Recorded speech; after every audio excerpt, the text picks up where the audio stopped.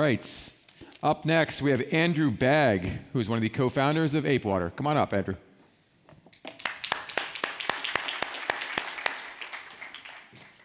You remember the deal? So, hold on one second here. It's a little, it's a little warm. Get a little more comfortable. There we go. How is everyone doing? Nice to see everybody. I'm uh, Andrew, one of the co-founders of ApeWater, and uh, we're here to, br- to bring fun back to water. Does that sound good, everybody? We're creating the ultimate lifestyle water brand for future generations through sustainability. And so, what's the problem with water? Well, first of all, it's not really cool. And at best, it's just been a certain level of status and luxury.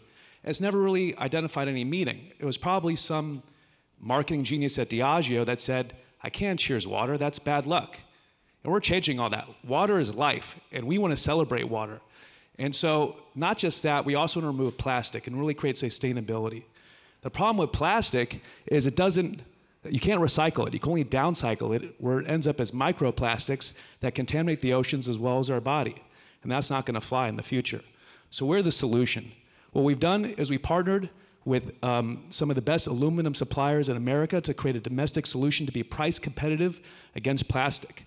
Not just that, we're not just a beautiful can, we partnered with Mount Shasta to uh, source what has been regarded as the best tasting water in the world, according to the Berkeley Institute. So the efficacy of the water is absolutely beautiful. It travels down through this glacier through a crystallized cave for 60 years approximately, where it pops out with perfect pH and alkaline levels. The problem with pH today is pH is fake news. People think pH with 9.5 is what you want to be because 9.5 out of 10, oh, that's an A. That's not an A. You're overly alkaline. You're creating acidity in the body. What you want is Goldilocks pH, and that's what we provide with ApeWater. So the addressable market size, I won't spend too much time on this, is 300 billion. It's a huge market. Nothing else comes close. It's going to be 500 billion by 2030, and most of it is plastic solutions. Um, so again, our can is sustainable. It's made in the USA, and our water is one of the best water sources in the world. In terms of capacity, our water can produce uh, source can generate 400 million cans a year. Our price point is $1.99 to $2.99, or we do 12 pack where it's $24.99 to $29.99. But we're not just apes, we're IP agnostic, and this is where it gets in interesting. We feature the most unique IP on our can by licensing it and doing co branding, where we capture some of that audience.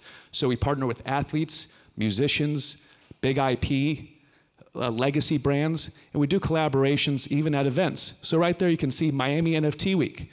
When you go to an event at Miami NFT Week and you get the ApeWater can, you scan the can, loyalty starts. And we onboard you immediately onto Web3 using your phone. There's no more friction. ApeWater is the key to the internet of Web3.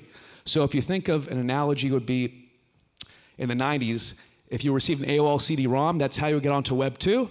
The can is how you get onto Web 3. It's seamless and easily, and we're the Trojan horse into that marketplace. And that's where the gamification and our loyalty begins. As soon as you scan our can, you're earning points. So you're at BevNet 2022, congratulations. You scan the can, you just earn banana points. Those banana points can be redeemed for extra value, and then BevNet gets to learn data about the customer that's there, and all of a sudden we have a feedback loop for innovation. So here's our market. We're doing direct to consumer. Uh, we're launching that in late December. Um, and I'm happy to say that our gross margin is going to be close to 80%.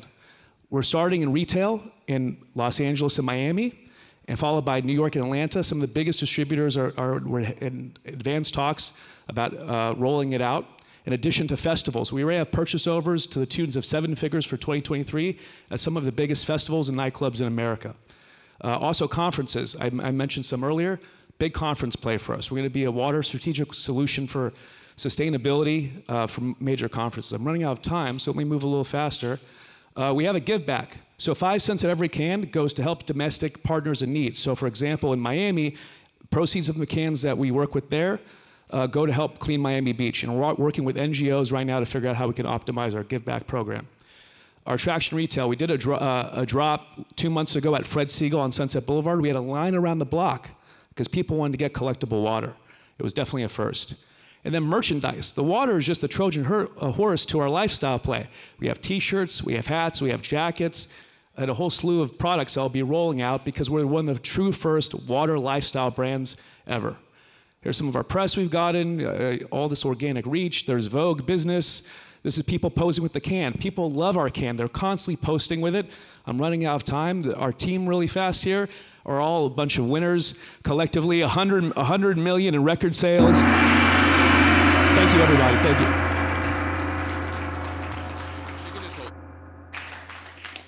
you. Okay, Andrew, come on over here. Thank you. Uh, if you could slide over just a little bit further, th- thank you. Um, John, uh, you're probably the most knowledgeable person when it comes to NFTs, at least uh, in my world. Um, you know, how does this all work together? I mean, what do you think about this positioning of uh, Apewater within this opportunity for NFTs and Web3? Um, well, I mean, if this launched last December instead of right now, uh, be a different time. But um, no, I don't know. Honestly, it's the, the biggest question I have. I mean, you know, I don't know. Like, you guys paid how much for that bored ape? Like two, f- well, I don't know. Somebody bought it for like a lot of money, right? So, Please, of course. um, So we're agnostic. We license IP from the biggest holders in the world. to give them a royalty of gross for every unit sold. Okay, so you're licensing that. Um, yeah, I mean, it, you know, look, it's it's.